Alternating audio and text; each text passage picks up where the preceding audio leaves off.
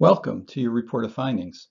This video is intended to help educate you about the function of the spine, the purpose of chiropractic, and to help you understand what normal and abnormal x-rays look like. In addition, we will also review the services offered here at our office.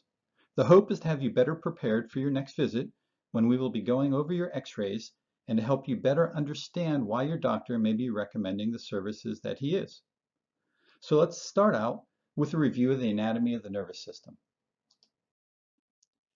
We know the brain is the master controller of all functions of the body. The brain sends electrical impulses down through the spinal cord. Branching off the spinal cord at each level are nerve roots. The nerve roots continue branching out, going to all parts of the body. We know the brain is protected by a hard outer casing called the skull, and the spinal cord is protected by the spinal column. When looking at the spine from the back view, as we are here, the spine should be nice and straight. Any lateral or S-curves in the spine are called scoliosis. From the side view of the spine, we can see some curvatures. We'll talk more specifically about these curvatures later on in the presentation. We know the spine is made up of several small bones called vertebrae. These vertebrae are stacked on top of each other and are separated by discs, which are the shock absorbers between the vertebrae. Nerves branch out from the spinal cord and exit between each of the vertebrae through small spaces. Any pressure on any of these nerves or nerve roots can create symptoms associated with the path of the nerve. In this illustration, it shows the C6, C7 spinal segment being compromised. This can create pain in the neck or the upper back area, but it also can create radiating or radicular symptoms into the shoulder, into the arm, the elbow, the forearm, the wrist, even into the hand or the fingers. This next slide shows impingement in an area in the lower back or the lumbar spine, which can create low back pain but also can create radiating symptoms into the buttocks or gluteal region, down into the thigh or the hamstring region, into the knee, the calf, the ankle, and even into the feet and the toes. These symptoms can be as varied as muscle spasm, tenderness, numbness, tingling, cramping, and of course, pain. This chart shows where the nerves exit the spine and go to the organs of the body. Oftentimes we just think that misalignments in a vertebrae putting pressure on a nerve can create pain and spasm and symptoms like those, but we don't often think that the organs can be compromised as well. In fact, we know that nerves connect to every organ, tissue, cell, and system of your entire body. Any misalignments of a vertebrae, which pinch or constrict the nerves, are called subluxations. These subluxations can create a multitude of symptoms, many of which you may be experiencing at this time. So now we're going to take a look at some x-rays. We'll look at some normal x-rays and some abnormal x-rays so you have a better understanding when you look at your own x-rays. The first x-ray we're going to take a look at is a lateral or a side view of the neck or what we call the cervical spine. In the cervical spine there are seven vertebrae and we use C from cervical, number these C1 to C7. The first thing that we want to look at is the forward curve that we see in the neck. In this particular x-ray, the person is facing to our right. You can see the jaw on the right and the back of the skull on the left, and you can see how the spine curves forward. This is called a lordosis. We can measure the angle of that curve, and as we put a line across the top of the vertebrae and the bottom vertebrae of the cervical curve, the angle should come out close to 43 degrees.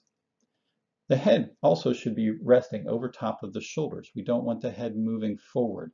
We use a mark from the skull and drop a line straight down. That line should intersect right in front of the C4 vertebrae and be less than 10 millimeters. In this particular view, we're seeing it's 6.5 millimeters, which is very good. The other thing we look at are the spaces between the vertebrae, which we can see here.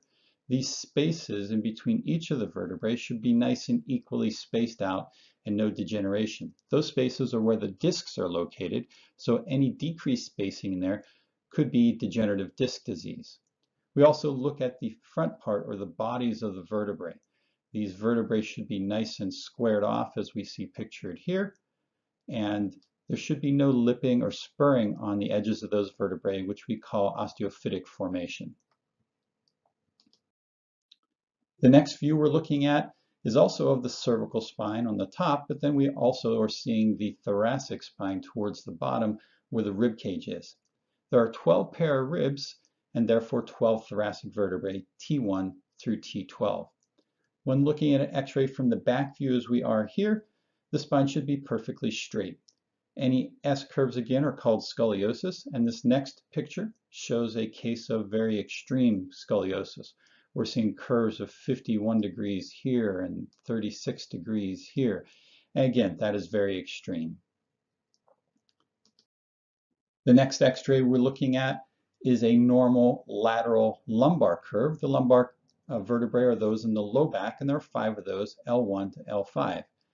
In this picture, we're seeing the belly would be located out front here, the buttocks would be in the back here, we're seeing the hips located down here, the tailbone or the sacrum is located right here, and then we have the five lumbar vertebrae sitting on top of that. Again, what we're looking for is a normal forward lordosis of close to 43 degrees. We're also looking at the evenly spaced discs between the vertebrae and of course the vertebrae themselves being nice and squared off as we'd mentioned in the cervical x-ray as well. The next view we're seeing is the lumbar, the low back uh, view from the back view, just as if we're standing behind someone looking at their low back. So we're seeing the hips here, which is comprised of the femur head and the hip joint itself, uh, both on the right and left. Uh, we can see a line drawn from the top of one hip to the other. That line should be level.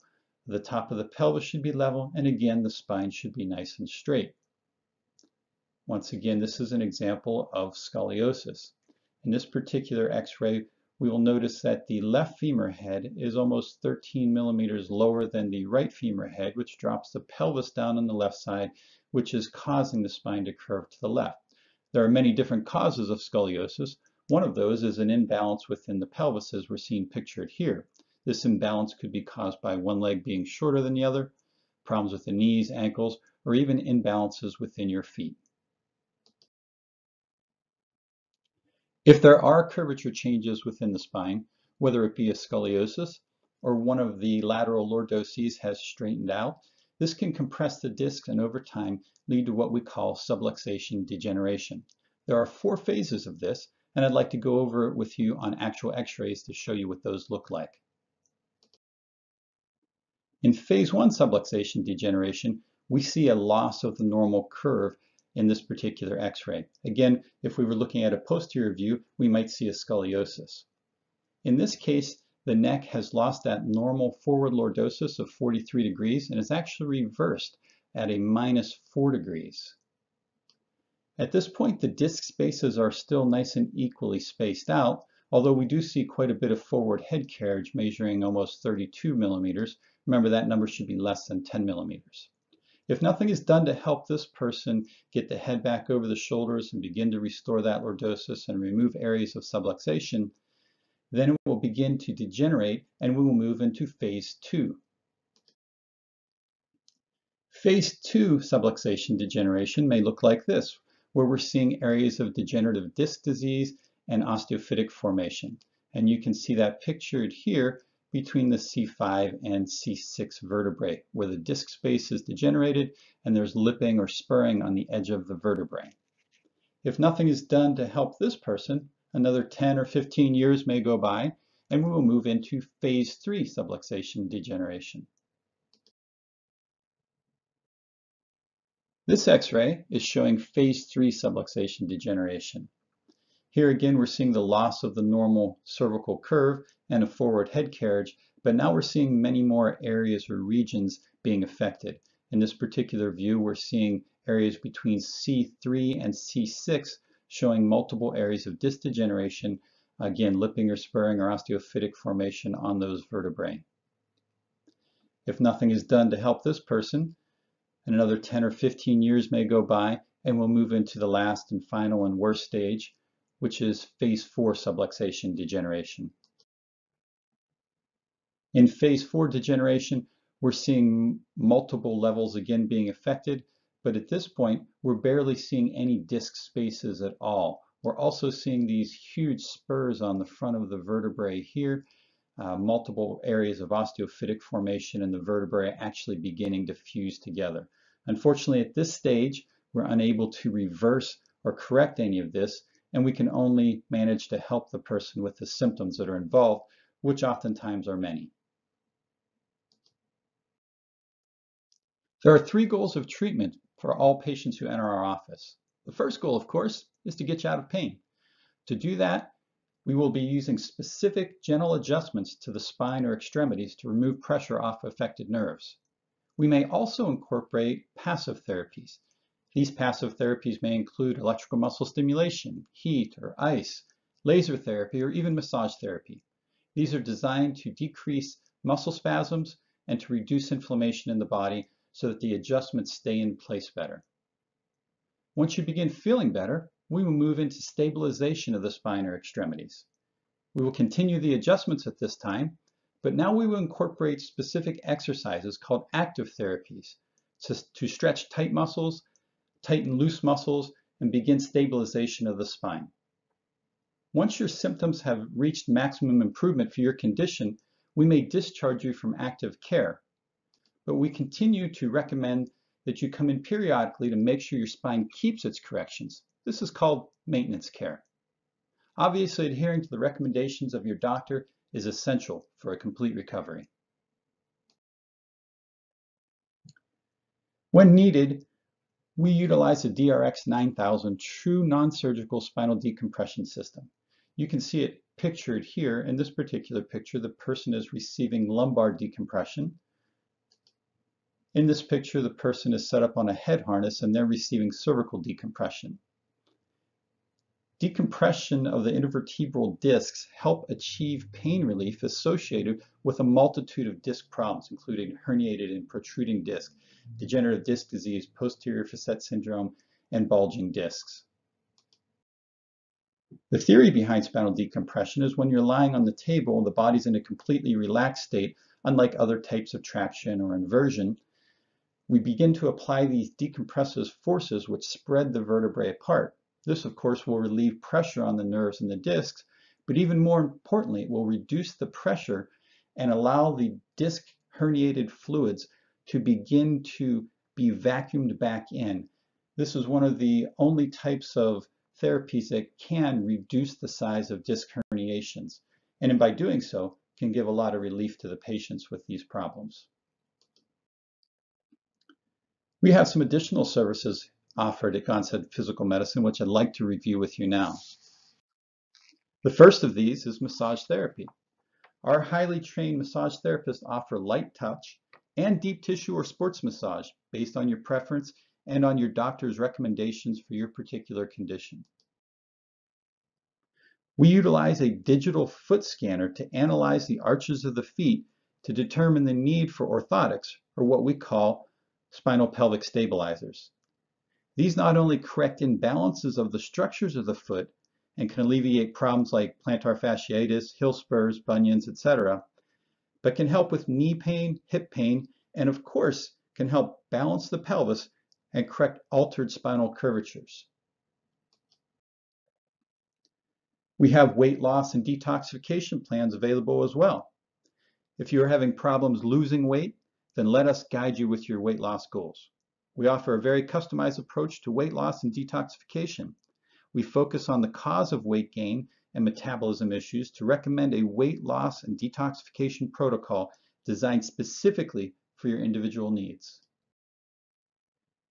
We also have a program to treat neuropathy symptoms. If you're experiencing any of the symptoms listed on this slide, you may have neuropathy. In this case, a specific program may be recommended which will address the underlying cause of your symptoms while helping to alleviate your symptoms directly. We also offer functional medicine evaluations. Functional medicine focuses on the patient and not the symptom. We are looking for the underlying cause of your disease, including problems like high blood pressure, high cholesterol, diabetes, and irritable bowel syndrome, among others. We consider each person's biochemical individuality and may recommend specific lab tests to get to the bottom of your problems. Speaking of lab tests, we offer a multitude of these, including blood work, which can be drawn here at our office. Other tests may include kits which can be taken home and performed. In each case, a full report will be reviewed with you and recommendations for changes in your lifestyle, diet, or supplementation may be made to correct the underlying cause of your problems. Speaking of supplements, we offer a large range of professional line products to help relieve your pain, inflammation, muscle spasms, and balance your body chemistry, or just to keep you healthy. If you're like most people, you don't consume your daily dose of vitamins and minerals, let alone experience their valuable benefits. Nutrient IV therapy is a safe and effective way to receive natural vitamins, minerals, and amino acids directly into the bloodstream. Each nutrient IV infusion session enhances your energy, improves your overall mood, and helps prevent future health conditions caused by stress, malnutrition, and even dehydration. We also offer naturopathic medical consults. Our naturopathic medical doctor is available for a multitude of medical services. If you have any questions regarding these services, feel free to talk to our front desk and they will give you a list of what is available for you. Regenerative medicine services are provided to help restore worn out spinal joints, hips, knees, elbows, shoulders, ankles, and even wrists. We utilize cutting edge technology, including stem cell and prolotherapy to restore damaged joints. Your doctor may recommend some of these services to you during your report of findings. Of course, if you have any questions regarding any of the services we provide, please feel free to ask your doctor if they may be right for you. Again, I'd like to welcome you to Gonstead Physical Medicine. I hope and expect that you are going to respond well to your treatments here and just ask that when you do, you let others know of your experience. Unfortunately, there are a lot of people out there who do not know about or understand the benefits of chiropractic care. Maybe even some of your own friends or family members. So please share your great experiences with them. They will be glad you did. We'll see you soon at your report of findings.